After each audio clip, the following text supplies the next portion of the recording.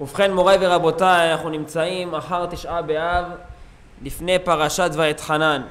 נאמר דבר שמקשר את הדברים ביחד, זה דבר שאומר דורשני על מה ולמה לעולם ועד, תראו בכל השנים כולם, כך כותב הרמב"ם, פרשת ואתחנן תבוא ישר אחרי תשעה באב מיד.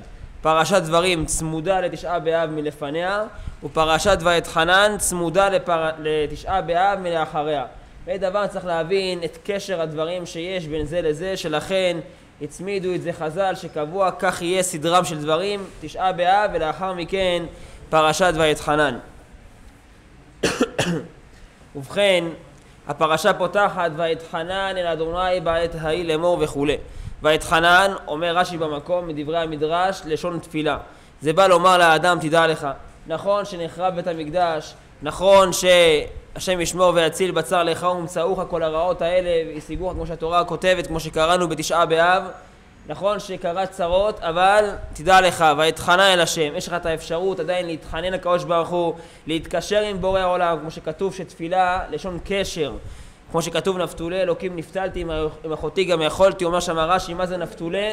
לשון התקשרות, כלומר על ידי התפילה האדם מתקשר לקדוש ברוך הוא.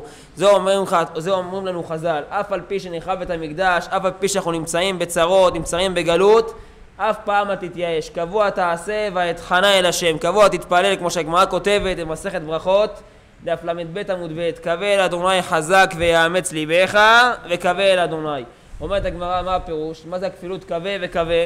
קווה אל השם חזק וקווה אל השם. אומרת הגמרא אם אדם יתפלל ולא נענה, לא יתייאש, אלא יתפלל שוב. וככה סדרם של דברים, אז הקדוש ברוך הוא שומע תפילת כל פה, ואז האדם נושע.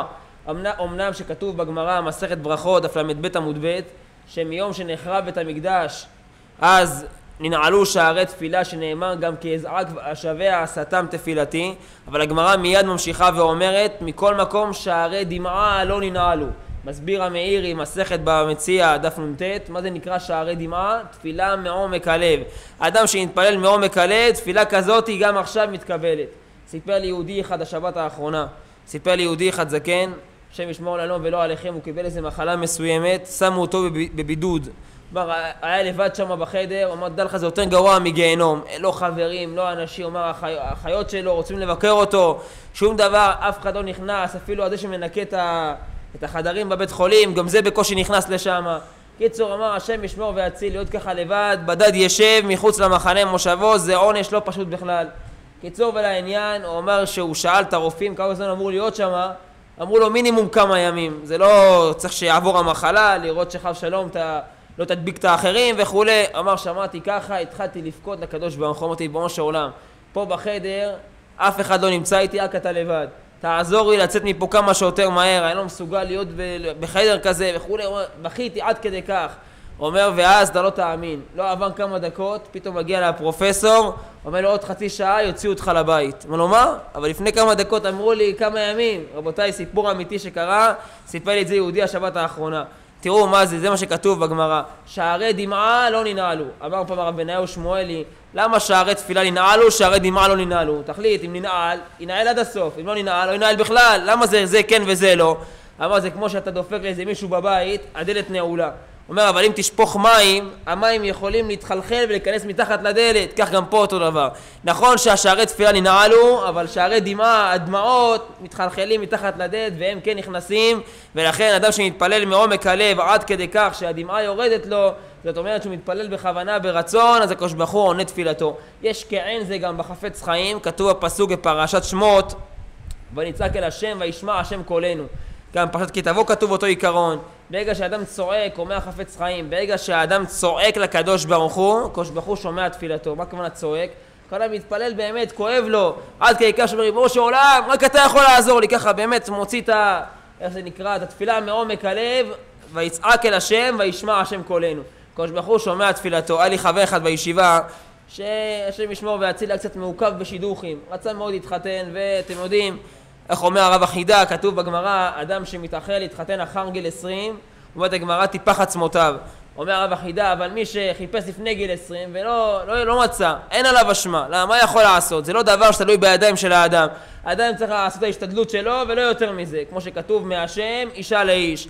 לכן על זה האדם חושב שהוא ימצא מה שהוא רוצה, אבל זה לא מה שיש מצוי ויש רצוי. לא כל מה שאתה רוצה, זה מה שתמצא. מה שהקדוש ברוך הוא רוצה מהשם אישה לאיש. בכל אופן, אבל הוא רצה מאוד לפחות להתחתן עם מה שהקדוש ברוך הוא גזר עליו, אבל לפחות זה. קיצור ולעניין, נכנס לחדר יום אחד בישיבה, נעל עצמו את החדר והתחיל להתפעל הקדוש ברוך הוא, עמד נגד החלון ואמר ריבונו של עולם, רק אתה יכול לעזור לי וכולי, ככה שפך את, את, את, את ליבו, אמר אתה לא תאמין, באותו חודש התארס, ככה הוא אמר לי, אותו חודש הוא התארס. תראו מה זה מוריי ורבותיי, ברגע שהאדם באמת מתפעל לקדוש ברוך הוא מעומק הלב, את אין תפילה ששבה ריקם. אומר המדרש שלפעמים נגזר על הבן אדם להתפלל כמות מסוימת של תפילות, כמו שהיה אצל משה רבנו, הקדוש ברוך הוא אמר לו אל תוסף דבר אליי עוד בדבר הזה. רואים חז"ל אם הוא היה מתפלל לו תפילה אחת, מיד היה נענה. אז כולם שואלים מה הפירוש. אם הוא יתפלל 515 תפילות לא נענה, למה עוד אחד כן יענה? איך זה? מה, מה יעזור האחד הזה? אלא מסבירים כולם שהתפילה זה כמו משקל, כל אחד נגזר עליו כמה קילו של תפילות צריך להביא כדי שהתפילה שלו תתקבל. אחד נגזר עליו 500 קילו תפילות, משה רבנו נגזר עליו 516 תפילות, כיוון שהוא עשה רק 515 לא נכנס, הקדוש ברוך הוא אמר לו אל תוסף דבר אליי עוד בדבר הזה, או אם חז"ל שאם הוא היה מתפלל עוד תפילה אחת היה מגיע למשקל שנגזר עליו במקום הייתה תפילתו מתקבלת. אז אם אלה רואים מפה שכל תפילה מקרבת הישועה. אם אתה מתפלל אתה לא נענה תמשיך להתפלל עוד עוד תדע לך בסוף אתה תגיע למינון שנגזר עליך ואז תתקבל תפילתך. בזה יתורץ לנו הרבה קושיות, יש הרבה אנשים לא מבינים למה יש כאלה אנשים שרק אחרי כמה וכמה שנים נפקדים בילד. אחרי כמה שנים מתחתנים, אחרי כמה שנים מגיע להם איזה ישועה. אם הקדוש ברוך הוא רוצה, הנה סיפר לי יהודי אחד השבוע שהוא זכה, ב, זכה בהגרלה סינית במכונית. אז הוא שואל, אם הקדוש ברוך הוא רוצה לתת לי את זה, למה הביא דק עכשיו? למה לא לפני כמה שנים? אז הייתי עוד יותר צריך. אם הוא לא רוצה לתת לי, למה עכשיו הוא נתן לי? התשובה היא, עכשיו הגיע המינון של התפילות שביקשת על פרנסה, כעת הגיע המינון, כעת קיבלת את זה. ולכן כך גם פה אותו דבר, לגבי תפילות כמו שאמרתי מקודם, על לזכות לילדים וכדומה. יש אחד מתפלל, מתפלל, בסוף אחרי כמה שנים זוכה לילד. אז הוא לא מבין, למה דווקא עכשיו? למה לא לפני כמה שנים? התשובה היא כי רק עכשיו הגעת למינון של התפילות שנגזר עליך להתפלל. אם היה לך שכל, היית מההתחלה מרבה עוד יותר בתפילות, היה מגיע יותר מהר הישוע. טוב, בכל אופן, מוריי ורבותיי, זו הנקודה, ואתחנן לאחר תשעה באב לומר לבן אדם אף על פי שנחב בית המקדש, תדע לך, אף פעם אל תתייאש. קבוע ואתחנן, תוסיף להרבות בתפילה, כמו שכתוב במזמור צדיק א' בתהילים, יושב בסתר עליון, שם כל המזמור מדבר על אחד שבוטח בקדוש ברוך הוא. כתוב כי, כי, כי הוא, הוא, ידע שמי, קראני ואענהו עמו אנוכי בצרה. מסביר שם הרד"ק כי הוא ידע שמי, כיוון שהוא יודע אותי, מתפלל אליי, רוצה בי, חפץ בי, לכן יקראני ואענהו. מה שהוא מבקש מהקדוש ברוך הוא, הקדוש ברוך הוא נותן לו. אז ברגע שהאדם מתפלל הוא בעצם מורה, מורה בזה, מראה בזה שהקדוש ברוך הוא אדון הכל היה הווה ויהיה. למה אתה מתפלל אליו? זאת אומרת שאתה מבין שממנו הכל. אם אתה מבין שממנו הכל אתה בוטח בו אז הקדוש ברוך הוא ייתן לך כל אשר תרצה כמו שכתוב בפסוק גול על אדוני דרכך והוא יכלכלך בטח עליו והוא יעשה. מה זה גול? תגלגל על הקדוש ברוך הוא את כל מה שאתה רוצה פתח עליו והוא יעשה מה שתרצה. כך סדרם של דברים. אז אני אומר שוב לכן זה בא ישר אחר תשעה באב לומר לך אף על פי שניחה בבית נכון אף על פי שיש הסתר פנים אבל תדע לך, אף פעם לא מאוחר, קבוע, אפשר להתחבר לקדוש ברוך הוא, ומי שדבק בקדוש ברוך הוא, אז הקדוש ברוך הוא עוזר לו בכל מכל כל. יש גם פסוק במשלי, כתוב, בכל דרכיך דעהו והוא ישר אורחותיך. אומר הרבנו יונה שם במקום, מה זה בכל דרכיך דעהו? בכל הדברים שלך, כל הצרכים שאתה צריך, דעהו, תדע את בורא עולם, כלומר תתפלל אליו. ואז מה המשך הפסוק? והוא ישר חוטאיך מה שתרצה קדוש ברוך הוא ייתן לך אם על כל דבר תתפלא קדוש ברוך הוא יעזור לך סיפר לי חבר אחד, היה לומד איתי בישיבה ביחד בבני ברק, היה מגיע כל פעם לירושלים, פעם בחודש, מגיעים לבית בירושלים. קיצור ולעניין, אמר ממתי ששמעתי את הוורט הזה, כל פעם תתפלל קדוש ברוך הוא ריבונו של עולם, תעזור לי שיבוא לי קו 402 ויהיה לי מקום לשבת, שאני לא צריך לעמוד כל הנסיעה, למי שיודע, קו 402 בדרך כלל מלא מאוד ואם אתה עולה בתחנות האחרונות, קרוב לוודאי שתישאר עומד כל הנסיעה. אמר, כל פעם אני מתפלל ואתה לא תאמין, לעולם ועד, לא קרה פעם אחת שהתפלל ולא נענה. למה? הוא התפלל באמת מעומק הלב, מסכן, למד בישיבה חודש שלם, כולו מעויף, עכשיו להתחיל לעמוד כל הנסיעה, מה, אתה לא תאמין, מתי ששמעתי את הוורט הזה של, איך, איך הפסוק, בכל דרכיך דעהו, על כל דרך ודרך, על כל דבר ודבר שאתה עושה דעהו, והוא ישר אורחותיך. אתה תפתח הקדוש ברוך הוא, תתפלל אליו, הקדוש ברוך הוא יעזור לך. מוריי ורבותיי, יכול להפסיק לעמוד על נקודה אחרת. זה עניין של הייאוש, כמו שכתוב, כמו שאמרתי, אף על פי שנחרב הבית, אף על פי שיש צרות וגלויות, אף על פי כן אל תתייאש. קבוע ואתחנן. אז אני נזכר בסיפור חזק מאוד שקרה עם הרב יעקב גלינסקי, אני לא יודע לפני כמה שנים, אבל בערך 70-80 שנה הסיפור הזה. הרב יעקב גלינסקי בדיוק בא מרוסיה לארץ, ונכנס לחזון איש, אמר לו כבוד הרב, כל הצרות, הגלויות, עברתי שם, דברים לא פשוטים בכלל, באתי לארץ, קצת אל המנוחה והנחלה, וגם פה בקושי יש מה להתפרנס. קיצור, ככה כולו רצוץ ואיך כתוב שם, כולו שבור ורצוץ לפני החזון איש. אמר לו, כבוד הרב, מה אני עושה? הרב, ייתן לי קצת דלק, משהו, שמחת חיים, ממש קשה לי מאוד. אמר לו הרב, התשובה לשאלה שלך זה בדיוק הסיפור שקרה מקודם. אמר לו, מה הסיפור קרה מקודם? אמר לו, בוא תשמע. מקודם באו אליי שתי אנשים, אחד אברך ואחת אישה חילוניה. מה קרה? האישה החילוניה מספרת לרב שהיא הלכה בתל אביב ולא יודע, מרעדה קצת ברגל, לא יודע מה, נפלה, נשלו, קיצור פינו אותה עם אמבולנס ותוך כדי שפינו אותה נפל לה חבילת כסף מהכיס. טוב, היא התפנתה באמבולנס, אחרי כמה ימים נהייתה בריאה, חזרה בחזרה, שמה מודעות בתל אביב, מי שמצא את הכסף, שיחזיר לה. האברך הזה מבני ברק, הוא בדיוק עבר שמה, ראה את הכסף, כאילו אחר כך לא יודע מה, קיצור ראה את הכסף, לקח את זה, שם בכיס, עכשיו שהוא ראה את המודעה, התקשר אליה, אמר, תשמעי גברת, רציתי להגיד לך שחבל שתטרחי לחפש וזה, למה הכסף אצלי. אבל מצד שני אני לא מתכונן לתת לך את זה, כי אין לי ספק שבוודאי בוודאי התייאשת מזה. וכי נראה לך שמישהו יחזיר לך את זה פה? מה פתאום איזה יחזירו לך? תגידי תגיד, תודה שאני מתקשר בכלל להודיע לך שאת לא צריכה לחפש את זה יותר. קיצור ולעניין, ככה סיים את השיחה, היא אמרה לו, רגע, רגע, מי אתה? מאיפה אתה? אמר לה, אני בן תורה מבני ברק. אמר לה, רגע, מה זה בן תורה ככה? מה זה הדברים האלה? איך הרב שלום כהן אומר? יש בן תורה ויש בנדורה. בנדורה בערבית זה עגבנייה. יש בן תורה...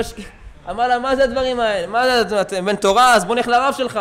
למה אתה מחליט שהכסף שייך אליך? תראה, אני לא יודעת הלכות, אני לא חרדיה, אבל אתה בן תורה, בוא נלך לרבנים שלך, נראה מי הר... מה הרב שלך אומר, מה שהוא יגיד קדוש, אבל למה אתה ככה כל כך בטוח בעצמך שהכסף מגיע אליך? אמר, את יודעת מה? תלבשי צנוע, תבוא איתי ביחד לחזון איש בבני ברק. אמר לו, סגור. קיצור, ואני אומר חזון איש, אתה רואה, זה הזוג הזה, האברך והאישה החילוניה שבאו מקודם, זה בדיוק אותו, זה האנשים האלה. הם באו אליי לפסוק להם מה הדין בסיפור הזה. האישה טוענת שהכסף שייך אליה, והאברך הזה אומר, אני מצאתי, ודאי התייאשה, הכסף מגיע אליי. אמר החזון איש לרב יעקב גלינסקי, אתה יודע מה פסקתי להם? אמר לו, מה אני אגיד לך מה, אני אמרתי לאברך שיחזיר את הכסף בחזרה לאותה אישה. והאברך הזה לא הבין למה. הוא שאל את הרב, למה כבוד הרב, מחילה, יש משנה מפורשת, אדם שמאבד מעות ומתייאש מזה, הרי אלו שלא. נכון שכתוב מעות מפוזרים, אז הרי אלו שלא, אבל מעות לא מפוזרים, זה לא שלו, אבל פה ודאי שהתייאשה, אחרי כמה ימים היא מגיעה, אחרי שהיא התפנתה, אחרי שהיא יצאה מהבית חולים, יש סיכוי בכלל שהיא תמצא את הכסף הזה? אין סיכוי בכלל. אז בוודאי שהתייאשה, ממילא זה כמו מעות מפוזרים, והרי אלו שלא, אז למה ולמה, על מה ולמה הרב פסק להחזיר את הכסף לאותה אישה? אמר לו הרב, אני אסביר לך טוב מאוד. האישה הזאת היא אישה נשואה. בעלה, הוא לא יודע שהיא איבדה את הכסף, לא איבדה, לא סיפור לו את כל הסיפור הזה. ממילא, אמנם שהיא התייאשה, אבל בעלה לא התייאש. ומה שקנתה אישה קנה בעלה, הכל שייך לבעלה, הבעל הבית לא התייאש, היא תתייאש עד מחר, זה לא קשור אליה בכלל. ממילא זה לא נקרא ייאוש, אתה חייב להחזיר את הכסף בחזרה לאותה אישה. אמר החזון איש, אה, הוא ידע ככה. יכול להיות ששאל אותו, יכול להיות ששאל אותה. יכול להיות שהוא ש... אה? לא, היא, היא, היא, היא, לא היא ודאי התייאשה, אין ספק בכלל. מה זה, אין לה סיכוי בכלל למצוא דבר כזה. תחשוב, אדם איבד כסף בתל אביב, אחרי שלושה ימים יבוא, ימצא משהו. היא מפרסמת, את המזל שלה, מה היה? אני אומר לך, אני איבדתי, אני איבדתי, תקשיב כבודו, אני איבדתי, אה, איך קוראים לזה? הגילים, הגיל של זהב, אמא שלי באה אליי פעם אחת לבני ברק ודיברנו ככה ליד, זה נקרא גבעת שמואל, מי שמכיר, ליד בני ברק. דיברנו שם ביחד ותוך כדי שהיא זה, מסתכלת, נפל לה הגיל זהב. קיצור, איך קוראים לה? היא לא שמה לב לזה ישר אחר כך. אחרי שהיא חזרה לבית, היא אומרת לי, אתה יודע, אני רוצה להגיד לך, שכחתי שהגיל זהב שהייתי לאוטובוס, ראיתי זה כבר לא איתי. קיצור נפל שם, ישר באתי מהישיבה, לא עבר הרבה זמן, אולי שעה היה הבדל באתי מהישיבה, דפקתי שם איזה בית שהיה ליד, ראיתם פה אולי איזה יגיל זהב, משהו. אז אמרה לי, תשמע, אני לא יודעת אם תמצא דבר כזה פה בכלל. ככה אומרת לי אישה שגרה שמה, אומרת לי, אבל תראה, שים הודעה ותכתוב, עבד דבר, עבד הגיל, הגיל זהב שמאוד חשוב לבעליה, מי שיוכל לעזור ולתת, קיצור, כתוב איזה מילים כאלה שידברו ללב של האנשים, אולי כולי ואולי. עד היום לא חזר הגיל זהב הזה. אתה מבין? לנסות המזל כולם מנסים, מה אכפת להם, מה אכפת לי להפסיד? אני שמתי מודעות, אולי לנסות המזל שלי, אבל אם אתה שואל, שואל אותי אם חשבתי למצוא את זה, הייתי בטוח שאני לא אמצא דבר כזה. אבל לגבי כסף, כן. מה צריך? אמרתי, נכון. וקשור, זה סימן. כן, אבל אם אתה מוצא את זה- לא כבודו צודק. נכון. אתה צודק, אבל אם אתה מוצא את זה ממקום שם בתל אביב, מישהי... איפה שאתה רוצה, לא כתב שולחן ערוך איפה. הסימן של הכסף. טוב, לא משנה, יוראי ורבותיי, אני לא נכנס להלכה למעשה, אני אגיד לכם את האמת, אני לא יודע את כל הסיפור והסיטואציה שהייתה שמה, העיקר זה העיקרון שנוגע אלינו. ככה בכל אופן, ככה הייתה ההלכה שמה. חזון איש שאל את כל הפרטים, בירר, אני אין לי ספק שלא פסק את זה ככה מהשרוול, אחרי הכל זה לא פשוט לחייב אחד את השני, אז הוא ידע בבירור שככה ההלכה, אחרי שהוא יודע את כל הפרטים, אני לא- אולי חיסרתי לכם קצת פרטים בסיפור, אבל לא משנה, העיקרון הוא אחד. אז החזון איש אמר לו, התשובה לשאלה שלך, הרב יעקב גלינסקי, זה אותה תשובה שעניתי לאותם אנשים. אתה רוצה, אתה אומר קשה לך מאוד, אתה לא יודע מה לעשות, נכון? תדע לך, אתה לא בעל הבית להתייאש על החיים שלך. יש, יש בורא לעולם, הוא בעל הבית. אתה לא יכול להתייאש, אתה לא יכול, גם אם תתייאש זה לא נקרא ייאוש, כי יש בעל הבית שרק הוא יכול להתייאש. כלומר, אתה לא הבעל הבית, ממילא אתה לא יכול להגיד קשה לי, שמע קשה לי. הקדוש ברוך הוא ישתבח שמו לעד, הוא האדון הכל, הוא בעל הבית של העולם, והוא יחליט אם יהיה טוב לך או רע לך, איך, איך, ת, אם תמצא, איך ש... קיצור, זה אותו עיקרון כמו שמה, שהאישה לא בעלת הבית להתייאש מהכסף, כך גם פה אתה לא בעל הבית להתייאש ולמאוס בחיים שהקדוש ברוך הוא נתן לך. כך סדרם של דברים, אבל צריך לדעת שזה דרך צדיקים. כתוב בפסוק, כי יודע השם דרך צדיקים, ודרך רשעים תאבד. פעם שמעתי מהרב שלמה לוינשטיין, הקדוש ברוך הוא ירחם בטוב ושלב בנעימים. אמר מה הפירוש של הפסוק? כי יודע השם דרך צדיקים ודרך רשעים תאבד. לכאורה הפסוק לא סימטרי, לא מסודר טוב, למה? כי אם אתה אומר כי יודע השם דרך צדיקים, אז מה אמור להיות להפך? דרך רשעים? לא יודע, לא רוצה לדעת, לא יודע מה. אבל מה שצריך להגיד כי יודע השם דרך צדיקים ודרך רשעים תאבד. מה הקשר בין דרך רשעים תאבד? או שתגיד יודע, דרך צדיקים לא תאבד, דרך רשעים תאבד. או קיצור, תדבר על אותו, איך זה נקרא, אותו גל. למה פתחת כי יודע השם דרך צדיקים ואתה מסיים ודרך רשעים תאבד? אלא הסביר הרב פשט כזה. כי יודע השם דרך צדיקים. אדם שקורא לו איזה משהו, אומר, הקדוש ברוך הוא יודע מה שהוא עושה, השתבח שמו לעד, הכל משמיים, הכל לטובה, אז זה דרך צדיקים. אבל דרך רשעים, אתה יודע איך הדרך שלהם? זה תאבד, קצת קשה להם, הולכים מתאבדים, הולכים מואסים בחיים, השם ישמור ויציל. זה הפסוק אומר לך, כי יודע השם דרך צדיקים, אבל דרך רשעים תאבד. זאת אומרת שהייאוש זה מגיע מהסטרא אחרא, מהיצר הרע, הוא אומר לאדם, שמע, עזוב אותך וזה, וכן על זה הדרך, אבל צריך לדעת שיהודי אף פעם לא מתייאש. כתוב בגמרא, מסכת מגילה, דף י"ב עמוד א', אומרת הגמרא, לעשות כרצון איש ואיש, מה זה איש ואיש? זה המן ומרדכי. שמעתי פעם מהרב שלמה זעפרני, אמר פשט כזה, מה הפירוש לעשות כרצון איש ואיש זה המן ומרדכי? איש זה מרדכי, איש ראשי תיבות, אין שום ייאוש, זה מרדכי.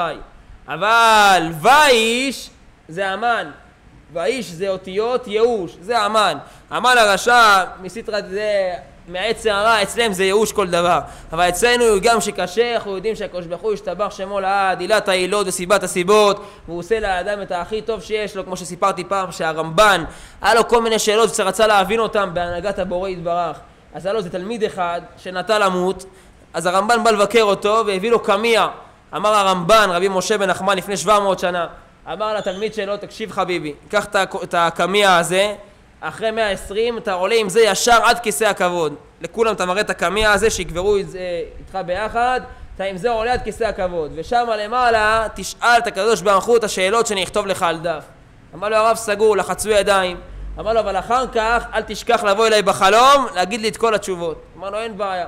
וכך היה, אחרי שאותו תלמיד נפטר, עלה התלמיד עם הקמיע הזה עד כיסא הכבוד, ושם שאל את הקדוש ברוך הוא, יותר נכון, הוא רצה לשאול את הקדוש ברוך הוא את השאלות האלה, אבל הוא לא שאל, והוא ירד לרמב"ן בחלום ואמר לו, כבוד הרב, רציתי לשאול את השאלות שהרב שאל אותי, אבל כשהגעתי לעולם האמת ראיתי שכל השאלות הן לא שאלות כי הכל מובן, למה הקדוש ברוך הוא עושה ככה ולמה ככה, הכל מובן כי שם זה עולם האמת, ממילא אני לא, יכול, לא היה לי את האומץ לשאול כי זה לא שאלות, זה כמו שלא תשאל אנשים שאלות שזה לא שאלות, כך גם אני כביכול לא יכלתי לשאול את הקדוש ברוך הוא שאלות כאלה כי זה היה ברור לי התשובה בלי לשאול. אז לכן אני אומר לרב, אין לרב מה לדאוג, עוד הרב יבין בעתיד כמה זה נכון וטוב, הדרך שהקדוש ברוך הוא עשה עם ההוא וההוא וכן על זה הדרך. מוריי ורבותיי, צריך לדעת, השולחן ערוך פוסק את זה הלכה למעשה, סימן ר"ל סעיפי באורח חיים. לעולם יהיה אדם מגעיל לומר, כל דאביד רחמנה לתו עביד. זה גמרא מפורשת, מסרת ברכות דף ס עמוד ב', כל מה שעושה השם הכל לטובה. זאת אומרת, גם אם אתה רואה קשה לך פה, קשה לך שם, וכן על זה הדרך, תדע שהכל לטובתך ואל תתייאש מזה. ותראה, סוף הישועה להגיע. לפעמים האדם רואה את הישועה ישר, לפעמים האדם רואה את הישועה אחרי כמה זמן, לפעמים הוא גם לא רואה את זה בכלל, אבל בעתיד הוא יראה את זה. אומרים, כתוב ימינו כחולמים, מה זה כחול... הכל כמו חלום. אחר כך, ב... אחרי מאה עשרים בשמיים, הראו לבן אדם, הנה תראה את כל הסיפור, את כל החלום, בסוף אתה רואה שהכל היה חלום, הכל היה, זה לא, אתה לא הבנת למה קשה לך פה, למה פה ככה, למה זה ככה. אחר כך תבין איך שהכל היה נטו לטובתך. מוריי ורבותיי, עד לכאן הקטע הראשון, הקשר בין תשעה באב לפרשת ואתחנן. אבל... זה... אה?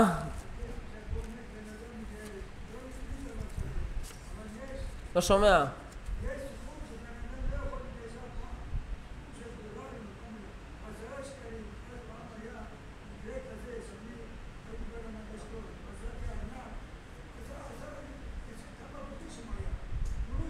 כן.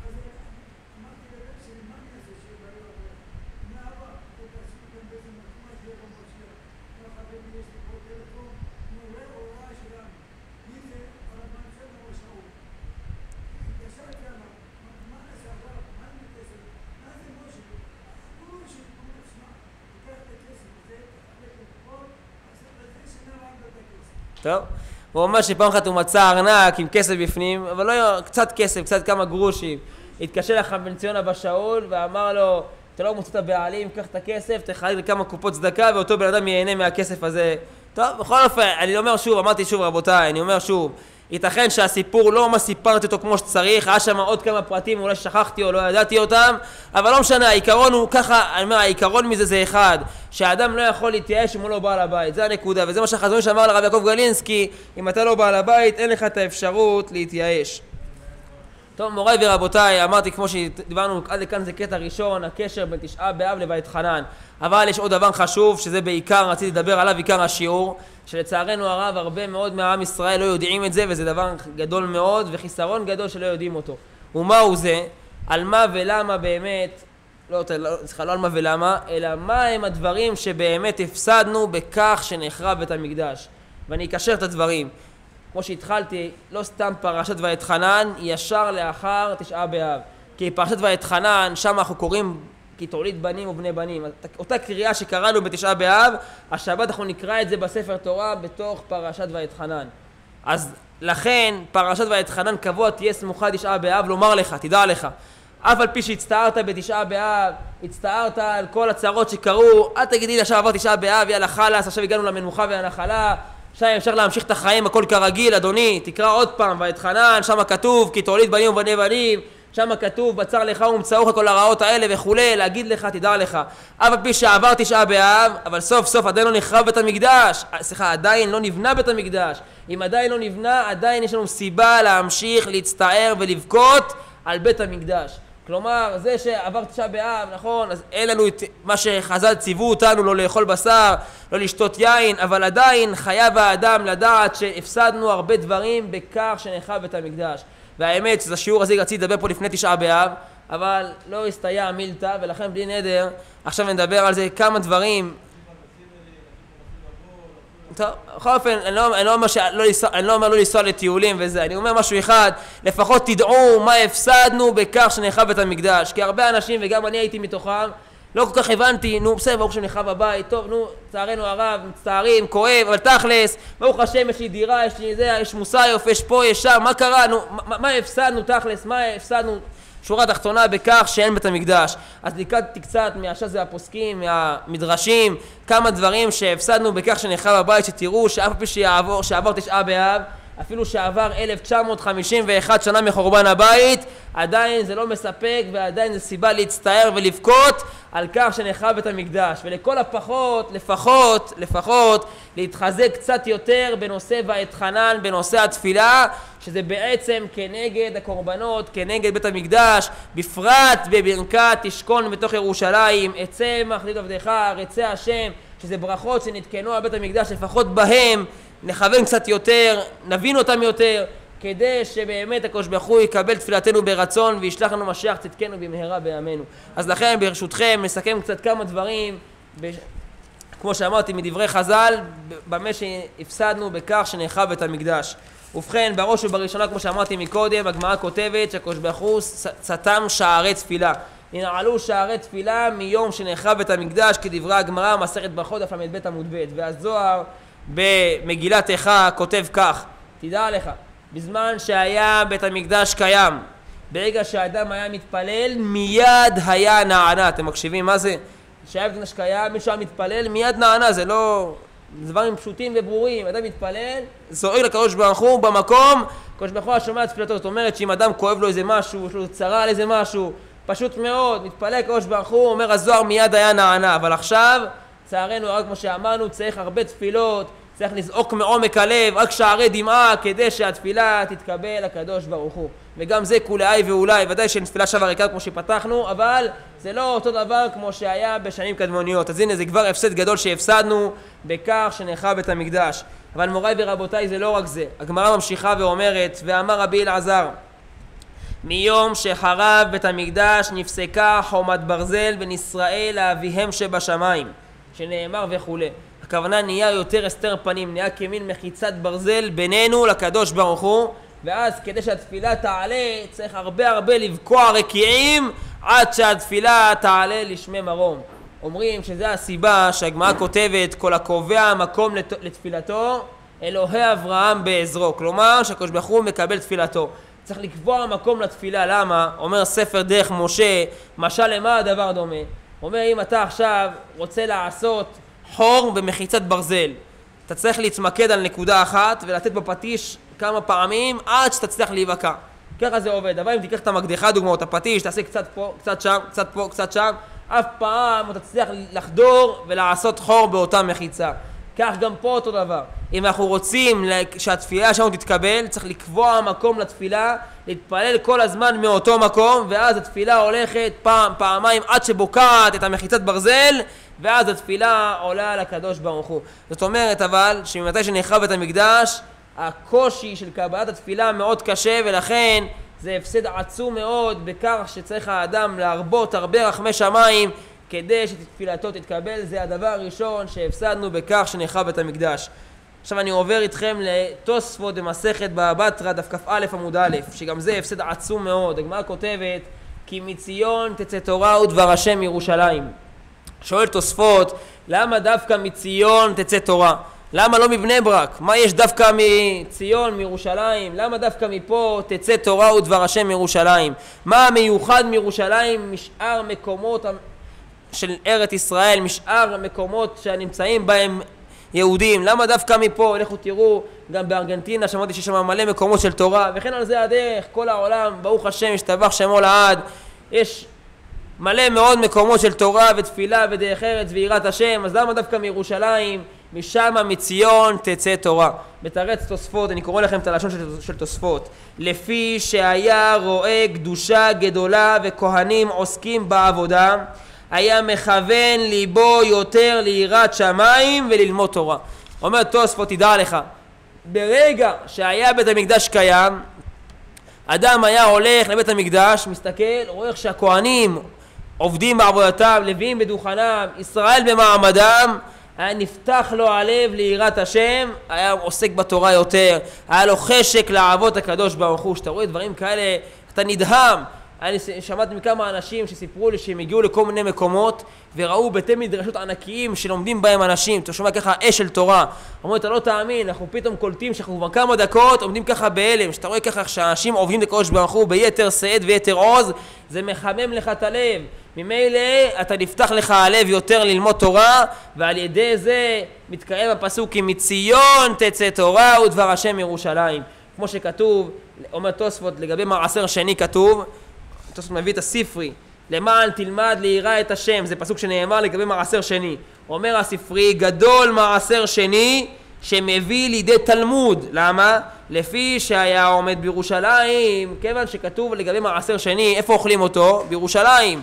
אז אדם היה עומד שם עד שיגמור את כל הכסף של המעשר שני שיש לו, לבינתיים היה רואה שכולם עוסקים במלאכת שמיים ובעבודת השם, היה גם הוא מכוון ליבו ליראת שם ועוסק בתורה.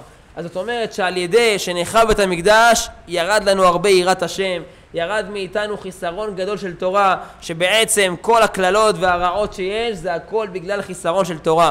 כמו שכתוב בבעל הטורים בפרשת ראה, התורה אומרת ראה אנוכי אותי לפניכם היום ברכה וקללה את הברכה אשר תשמעו זה סופי תיבות תורה. אומר הבא הטורים לומר לך מה הברכה הכי גדולה שיש לאדם ברגע שעוסק בתורה? אדם שעוסק בתורה זוכה לכל הברכות כולם. זאת אומרת שעל ידי שנחרב בית המקדש הפסדנו הרבה יראת השם ונחסר מאיתנו הרבה מאוד תורה כי אם כל באי העולם היום היו רואים את מה שהולך בבית המקדש, היו יותר מתחזקים, לומדים, לומדים יותר, לא היה פה קצת אנשים, היה פה בהרבה יותר אנשים, וכן על זה הדרך. כמו שתוספות כותב, נפתח ליבם ליראת השם וללמוד תורה. ודרך אגב, אומר הזוהר הקדוש במגילת איכה, אומר, תדע לך, שאפילו הגויים היו מבינים כמה חשוב בית המקדש, כמה שפע זה משפיע על עם ישראל, כמה טוב שיש בית המקדש בעולם, ההר הטוב הזה והלבנון, כמה זה מקום טוב, עד כדי כך אומר הזוהר שהם היו שומרים את עם ישראל ממי שהיה רוצה לגעת בהם. כך אומר הזוהר הקדוש. הגויים היו כמו שומרים שלנו, במקום שאנחנו נשמור על עצמנו, הם היו משמרים אותנו משאר המזיקים, אני יודע, מחיות רעות, מכאלה ואחרים. בקיצור ולעניין, מוריי ורבותיי, כל זה הפסדנו על ידי שנחרב בית המקדש. אז לכן זה לא משנה לפני כמה שנים נחרב הבית. סוף כל סוף עד היום אנחנו מפסידים את אותם דברים שהיו אז בימים ההם בזמן הזה. דבר שלישי, כתוב באבות דרבי נתן, פרק ד', משנה ד'.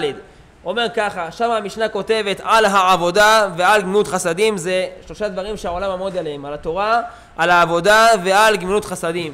אז אומר האבות דרבי נתן, על העבודה כיצד? מה הפירוש שהעולם עומד על העבודה? תקשיבו טוב, פלא פלאים. כל זמן שעבודת בית המקדש קיימת, העולם מתברך על יושביו. הכוונה היא, מסביר שם בניין יהושע, זה פירוש נפלא על כל אבות דרבי נתן. הוא אומר, הכוונה היא, כל זמן שהיה בית המקדש קיים, עם ישראל לא היה צריך לצאת בגלות. היה מתברך על יושביו, הכל היה בסדר, היו יושבים בהשקט ובטחה, לא היה פחד, לא של פיגועים, לא של מחבלים, לא של רציחות, שום כלום. הכל היה כדת וכדין. כך אומר הבניין יהושע שם על דברי אבות רבי נתן. מתי? בזמן שהיה בית המקדש קיים. אז נמצא שגם זה הפסדנו על ידי שנחרב הבית. אבל למה באמת בזמן שהיה בית המקדש קיים, אז הכל היה בסדר, היה השקט ובטחה? מה ההבדל? למה כשיש בית המקדש אז זה הכל בסדר ושאין זה לא בסדר? אז כתוב שם בבניין יהושע, הוא מעריך לבאר את זה, אומר תדע לך כל האסונות שקורים לבן אדם, כל הפיגועים, כל הרעות, הכל מכל כל, זה בגלל העוונות. כמו שכתוב, מה יתאונן אדם גבר חי על חטאיו. מה יש אדם מתאונן? רק על החטאים שלו, כי הכל מהחטאים שלו מגיע. כמו שקראנו במגילת איכה, פרק ג', פסוק ל"ז, הפסוק כותב, מפי השם, מפי העליון, או תצא הרעות והטוב. מה הפירוש הזה? מי זה יוצא? אם לא מהקדוש ברוך הוא. הכוונה היא, הקדוש ברוך הוא לא אומר שככה יהיה לך, אלא הקדוש ברוך הוא יטביע בטבע שאם אדם יעשה עבירות, אז ייפתח לו ברז של פורענויות. יעשה מצוות, ייפתח לו ברז של הטבות. כך אומר רש"י שם במקום. כלומר, זה לא שמהקדוש ברוך הוא יוצא הרעות והטוב, אלא על ידי העוונות שלך, ממך יוצא אותם דברים. על ידי שאתה מתנהג בצורה כזאת, אתה פשוט מאוד פתחת לך את אותו ברז. משל למה הדבר דומה? אדם מתקלח, אומר, שמע, יוצא לי רק מים חמים, נו בטח, תפתח את המים הקרים, יוצא לך מים קרים, מה אתה רוצה? תלוי איפה אתה פותח, כך גם פה אותו דבר. אדם שעושה עבירות, הוא בעצם פותח את הברז של הפורענויות. עושה מצוות, פותח את הברז של ההטבות. אז אומר הבניין יהושע, תדע לך, בזמן שהיה בית המקדש קיים, אדם שהיה עושה עבירות, מביא חטאת, מביא קורבן, ועל ידי זה מתכפר לו העוון. מתכפר העוון, ממילא אין פורענויות, כי אין עוונות. עכשיו אתה כבר נקי מעוון. וכן, אחד שהיה חוטא בהרהור עבירה או משהו כזה, דברים שאין עליהם קורבן, אז כתוב בגמרא מפורש שהעולה, קורבן העולה מכפר על הרהורי עבירה. קורבן תמיד של שחר מכפר על כל העבירות של הלילה. קורבן תמיד של בין הארבעים מכפר על כל העבירות של היום. בקיצור ולעניין, היה יוצא מצב בזמן שבית המקדש היה קיים, שהאדם כל הזמן היה זך ונקי מכל עוון ואשמה. היה קבוע נקי מעבירות. אחד שנקי מעבירות, אז אלה לא יהיה לו שום רעות. לכן אומר הבן יני יהושע שזוהי הסיבה שכיום שאין לנו בית המקדש, לכן אין לנו את כל הברכות הללו, וכמו שהמדרש כותב מפורש, אני רוצה לקרוא לכם מדרש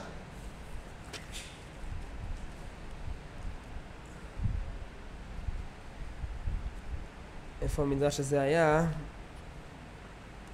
יש מדרש שכותב שמיום שנחרב בית המקדש אז הנה בשחרב בית המקדש אין לך יום שאין בו קללה ופורענויות. ככה אומר התנחומה בפרשת תצווה וכך גם כותב תנחומה בתולדות, בשתי מקומות הוא כותב את זה, גם בתולדות, גם בתצווה, שמיום שנחרב בית המקדש אין לך, אין לך יום שאין בו קללה ופורענויות, והוא מסביר טעם אחר, אומר למה, בזמן שהיה קורבן שלמים, אז היה עושה שלום בעולם, שלא יהיה פורענויות, שלא יהיה, שלא יהיה מרעין בישין, אבל היום, אומר, בזמן ש... בשעה שהיו זבחים בעולם, היה שלום בעולם. משחרב את הזבחים, אין לך יום שאין בו קללה ופורענויות. מדרש תנחומה בתולדות, וכעין זה כתוב עוד פעם בתנחומה, פרשת תצווה. ולכן, מוריי ורבותיי, אנשים לא מבינים, השם ישמור ויציל.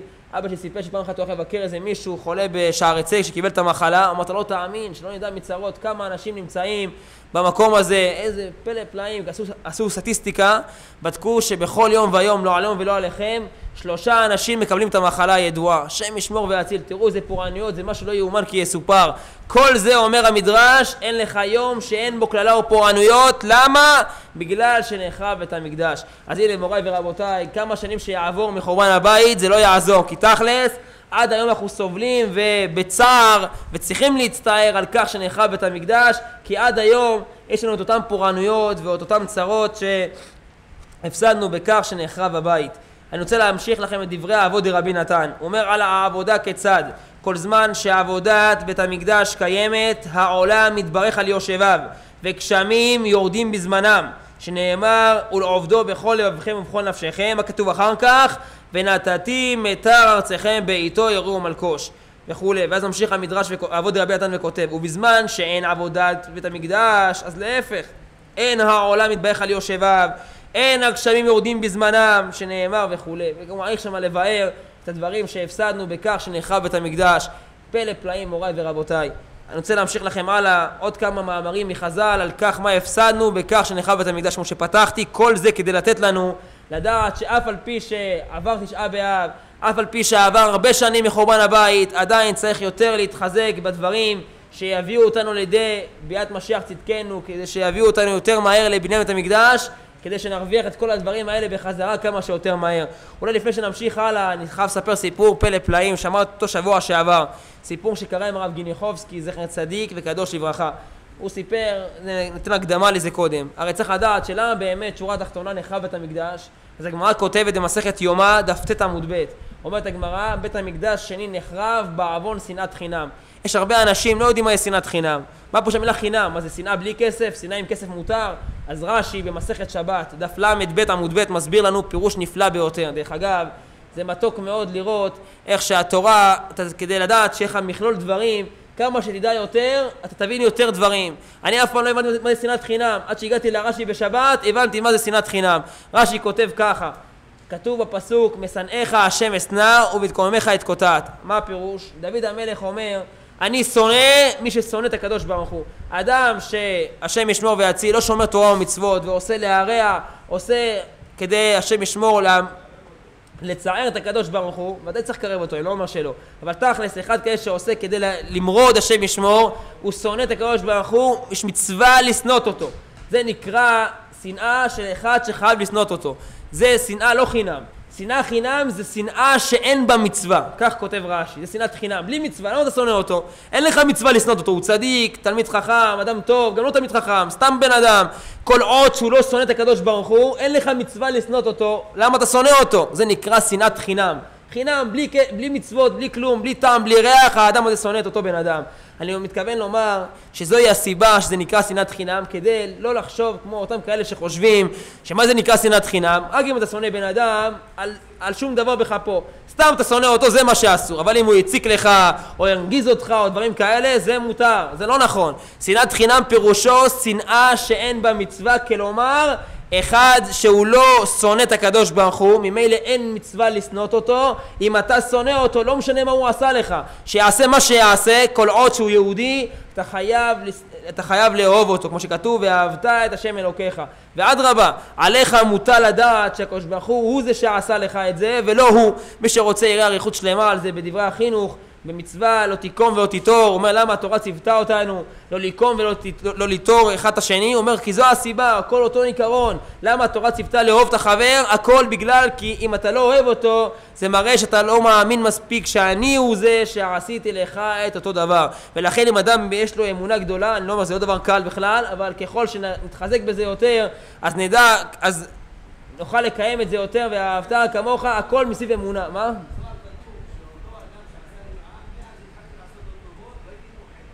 נכון? אומר, יפה מאוד, נכון?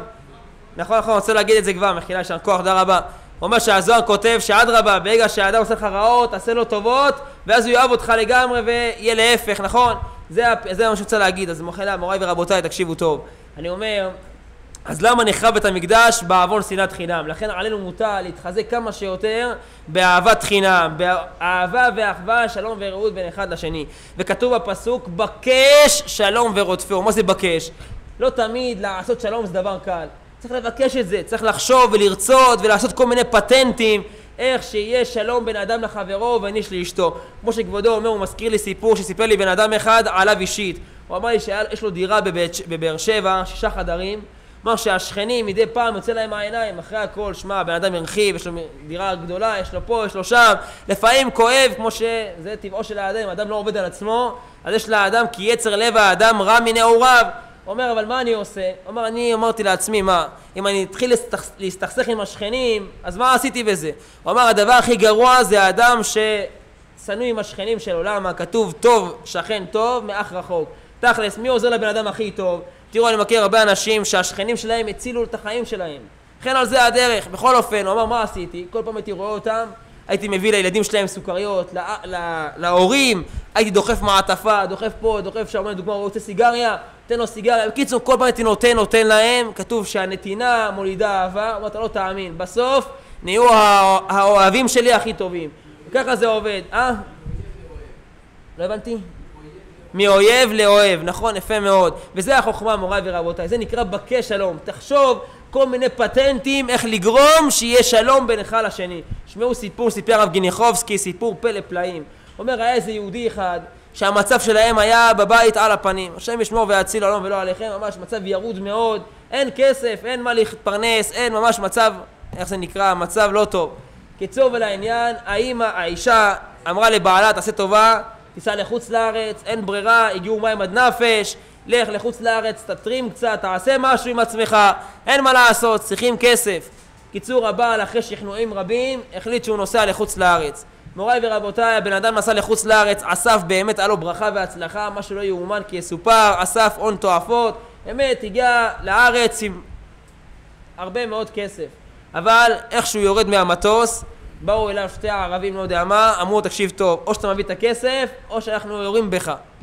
אז כן, לא היה לו ברירה, הביא את כל הכסף. אבל הבן אדם הזה אומר שאני אבוא לבית, מה אני אגיד לאשתי, איפה היא תבין את זה, אני אגיד לה אמו, אגיד לי מה פתאום, מה טה יש דברים שהאישה לא יכולה להבין את זה. סיפר לי חבר אחד שעבד אצלו איזה מישהו בבית, שיפץ את הדירה, ערבי אחד. אמר, בטעות הבאתי לו קצת יותר כסף, בלי לשים לב, והערבי הזה לקח, לא החזירו את הכסף. לא יודע, לפעמים אתה מתבלבל קצת במחיר, לא זוכר, אז זכרו לו, לא יודע, אלף דוגמה, הביא לו במקום יותר, לא יודע מה. קיצור ולעניין, אמר, באתי לבית, סיפרתי את זה לאשתי, אשתי אומרת לי, וואי, שתהיה בריא. אמרתי לך, אף פעם אל תסמוך על הערבים, תספור פעמיים לפני זה, נכון ספרת, אתה צריך לספור עוד פעם, היית, היית, אתה אשם. בקיצור, ירדה עליו, אמרה לי, תאמין לי, פעם בית צריך להגיד לה, נאבד לי ודי, לא יודע מה, אולי גם זה, לא יודע. קיצור ולעניין, לפעמים אתה לא יודע מה לעשות כדי לצאת שלם עם האישה. אז צריך לדעת, מוריי ורבותיי, בקש שלום ורודפו, תחשוב כל מיני פטנטים שיהיה שלום. אז תקשיבו סיפור אמיתי שקרה עם אותו בן אדם. האדם הזה ירד מהמטוס כמו שסיפרתי, הגיע אליו את אותו סיטואציה, מה הוא עושה עכשיו? אמר, אני אגיע לבית, תספר לי אשתי, תגיד לי, מה, גם הלכת עד לשם, מה, אתה לא יודע ללכת מקומות טובים, מה, אתה הולך למקומות מסוכנים, מה, אתה זה, מה, אתה פה, מה, אתה שם. קיצור ולעניין, אמר, יש לי רעיון. נכנס לבית מרקחת, קנה פולידין, אתם יודעים מה זה פולידין? יוד, יוד. שם, לקח יוד, קנה תחבושת, שם על האף יוד עם תחבושת. נכנס, זה סיפור אמיתי שקרה, נכנס לבית, כולם מסתכלים עליו, אבא, מה קרה לך? שם את זה ככה על האף, ככה תחבושת כזאת, משהו כזה, אתה יודע, זה משהו מפחיד מאוד. נכנס לבית, אומרים לו, אבא, מחורי האף הגדול הזה, מה קרה פתאום? מה יש לך? קיצור, אמר להם, בואו אני אספר לכם, אל תשאלו מה קרה. מה קרה, אבא? מספר להם, תקשיבו טוב. באתי עם הרבה כסף, באו אליי שתי הערבי, אמרו לי, או שאנחנו מורידים לך את האף, או שלוקחים לך את הכסף. אמרתי, יאללה, כפרת עוונות, תורידו לי את האף ודי. אמרו לו, אבא, מה קרה לך? אף זה לא כמו ציפורניים ושערות שגודל בחזרה. אף לא גודל. למה אמרת להם ככה? לא חבל, וזה שתהיה בריא, מה נעשה? שתהיה איך תיראי כל החיים בלי אף? וואי וואי וואי, קיצור. אמר להם, רגע, רגע, מה הייתם עושים במקומי? אמר לי, שתגידי, מה, מה היית עושה במקומי? אם היו עושים לך ככה, מה היית עושה? בוא נשמע אותך, מה היית עושה? אמר, מה פירוש מה הייתי עושה? הייתי אומרת שילך כפרה על הכסף ולהתראות. אמר, תאמיני לי, גם אני עשיתי ככה. הוציאה תחבושת, תירה לה את האף שלו שלם. מוריי ורבותיי, זה מה שכתוב. בקש שלום ורודפהו. תעשה כל מיני פטנטים כדי שיהיה שלום בין אחד לשני. זה, אז דרך אגב, אותו חבר שסיפר לי שעם הכסף, שעם הזה, אמר יש לי רעיון, אני אגיד לה, מצאתי מאה, לא יודע כמה את הכסף שהוא פספס, קיצור, אמר, אני אגיד לה שמצאתי את אותו כסף, היא תהיה עכשיו אה, רגועה שזה, הנה אני הפסדתי, גם מצאתי כסף. בכל זה הדרך, האמת שמותר לשנות מפני השלום, העיקר שיהיה שלום בין אחד לחברו. ככה מוריי ורבותיי, תראו עד כדי כך כמה חשוב לקדוש ברוך הוא שלום, שאמר שמותר לשנות, על אף שכתוב שלקדוש ברוך הוא מאוד שנוא אצלו השקר, כמו שכתוב בפסוק, לעיקון שקרים לנגד עיניי, הקדוש ברוך הוא מאוד שנוא אליו ש- ש- שקרנים, כמו שהגמרא כותבת, מסכת סוטה דף מ"ב עמוד א', כת שקרנים אינם מקבלים פני שכינה, תראו מה זה עד כדי כך, כמה חמור ומתועב לקדוש ברוך הוא עניין השקר. אף על פי כן, הקדוש ברוך הוא התיר לשנות מפני תנקי שלום. למה? כי חשוב לו מאוד מצד שני מעלת השלום. אני רוצה להמשיך הלאה על הדברים שהפסדנו בכך שנחרב בית המקדש. כתוב במדרש רבה שיר השירים, פרשה ד' אות י"ב. הפסוק אומר כמגדל דוד צווארך בנוי לתלפיות. מה זה צווארך? זה בית המקדש. ולמה מדמהו לצוואר של המדרש? למה לצוואר? תגיד כמגדל דוד ראשך, לא יודע מה. למה דווקא צווארך? אומר המדרש כמה וכמה טעמים וכל טעם נוגע לענייננו.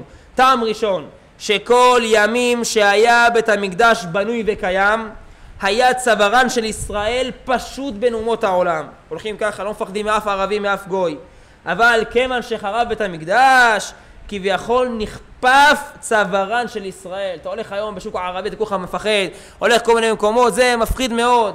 הקדוש ברוך הוא, דרך אגב, סיפרה לי אימא שלי, שבמרוקו היה תקופה היה תקופה שהערבים היו מאוד מפחדים מעם ישראל, גם זה היה גם בזה, עד, עד, עד, עד לפני המלחמה, שהיה גם פה בארץ ישראל זה היה ככה, אבל שם זה היה ביותר, כי הם היו גדלים ביניהם.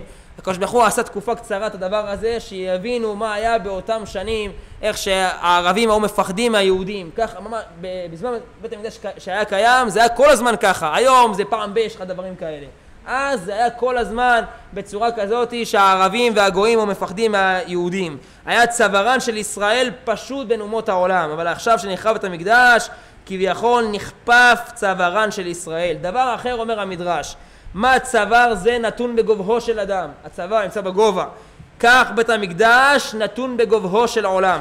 מה הכוונה? אלא בא לומר לך, בית המקדש זה דבר מאוד יפה, מחזה מאוד גדול, ממילא זה היה מקרב אנשים, ברגע שאתה רואה את המחזה הגדול הזה, אז זה מקרב את הבן אדם, כמו שהגמרא כותבת, מי שלא ראה בית המקדש, לא ראה בניין נאה מימיו.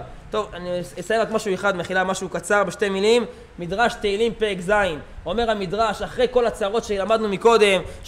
כמה דברים הפסדנו בכך שנחרב בית המקדש. אומר המדרש הזה, על מה אנחנו קיימים? אני קורא לך את המדרש. אמר רבי זעיר, אמר רבי אחא, בזכות מה אנו עומדים? שם המדרש מונה כמה דברים שהפסדנו בכך שנחרב בית המקדש. אז הוא אומר, נו, אז איך עם ישראל עדיין חי וקיים עם כל הצרות, כל יום יש קללות, פורענויות, איך אנחנו קיימים? אומר המדרש, בזכות ברכת כהנים. בכך שכל בוקר הכהנים מברכים אותנו בבית המקדש, מברכים אותנו בבית הכנסת, בזכות זה העולם חי וקיים. ברוך ה' לעולם, אמן ואמן.